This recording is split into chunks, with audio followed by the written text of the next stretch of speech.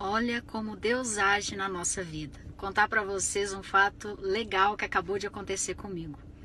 É, o meu irmão me mandou um livro, me presenteou com um livro, O Jeito Harvard de Ser Feliz onde o autor, num determinado momento, fala que pequenas gentilezas durante o dia pode te gerar um feedback positivo aí, você ficar é, mais feliz durante o seu dia, né? E ele citou um exemplo falando assim: você já pensou em pagar o pedágio do carro de trás? É, isso é, seria bacana, geraria um, uma sensação legal e etc. Eu peguei esse exemplo e pensei, puxa, eu nunca fiz isso na vida, né? Um dia eu vou fazer isso. Aí esse final de semana eu fiz uma viagem e me veio na cabeça isso, né? Falei assim: ah, hoje eu vou pagar o pedágio de alguém.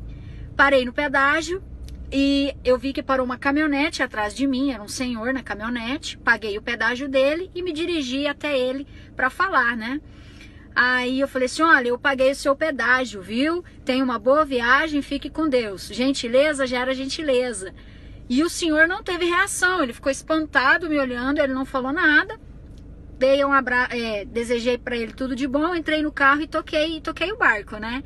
E eu percebi que ele veio atrás, deu luz alta, aparelhou o carro e ele pediu para mim para o meu telefone, o número do meu telefone. Passei para ele, ele gesticulou que guardou o número. Enfim, toquei viagem, né? Hoje eu recebo a ligação dele.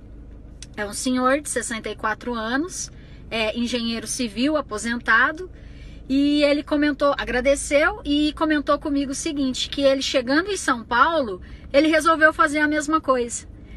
Aí ele parou o carro, a caminhonete dele, e ele viu que era uma Kombi e tinha um casal na Kombi, né? Aí ele pagou o pedágio, se dirigiu até o casal e falou para ele: "Ó, oh, paguei o teu pedágio, tá?" E ele contou que esse que o que o cara que estava dirigindo começou a chorar e ele perguntou por que, que ele estava chorando e, e o cara falou assim, ó, é, aqui eu sou da Bahia, estou eu e a minha esposa.